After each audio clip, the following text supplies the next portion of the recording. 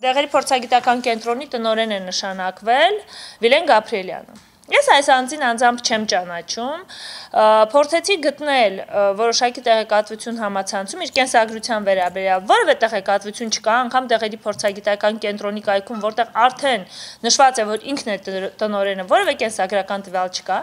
սակայն ըստ ինձ հասած տեղեկությունների այս անձնավորությունը ավարտել է համասարային դեղագիտական ֆակուլտետը, հանդիսանում է դեղագետ, աշխատել է շրջաններից մեկի դեղատներում եւ աշխատել է որպես բժշկական կամպանիային, որպես այդպես տեղեկատվություն աջակցություն տրամադրող անձ։ Փաստորեն մենք գիտենք չէ դեղերի փորձագիտական կենտրոնը ինչ կարևոր ֆունկցիա ունի, եւ այս կենտրոնի աշխատանքը շատ կարևոր է այն առումով, որ բազմաթիվ տեղեկություններ կան,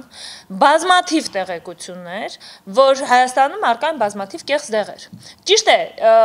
մարդիկ կան առողջապահության նախարարության ներկայացուցիչներ, ովքեր ինձ հետ նույնիսկ կապ են հաստատել, այսպես գրել են, նույնիսկ ես հարցումներ էի արել, ինձ պատասխանել, որ չէ, կեղծ դեղերի տոկոսը 0 է,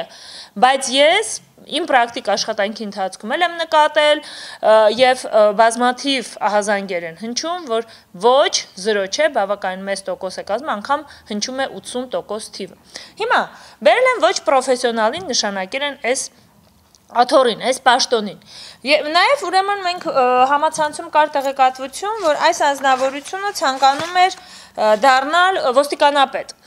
չէ։ Հիմա ես ուզում եմ հասկանալ ոստիկանապետի պետը որտեղ, դեղերի փորձագիտական կենտրոնի ղեկավարը որտեղ, ընդհանրապես իրենք ինչ կապ ունեն։ Մարդ, ով ոչ այնտեղ ունի փորձ, ոչ այստեղ ունի փորձառություն, ինչպես կարող է այս ամեն ինչը ղեկավարել այնպես որ շատ վատ հատկապես այս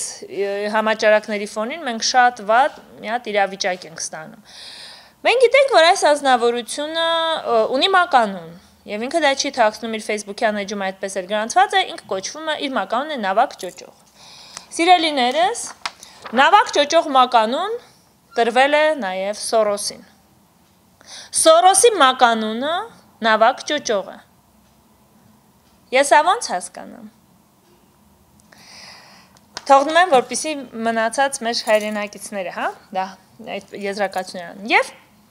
Ուրեմն մենք գիտենք, որ նաև այս թափուր տեղի համար իր տեխնատությունները առաջադրել Դանիել Լեոնիսյանի մորակույրը, ամեն դեպքում ես ուրախ եմ, որ այդ տիկինը չի հայտնվել այս պաշտոն։ Չնայած ես կարդացի այստեղ Լեոնիսյան ներկայացնում է տիկնոջ CV-ին, բավականին լուրջ CV է, բավականին լուրջ ինքնակենսագրական տվյալներ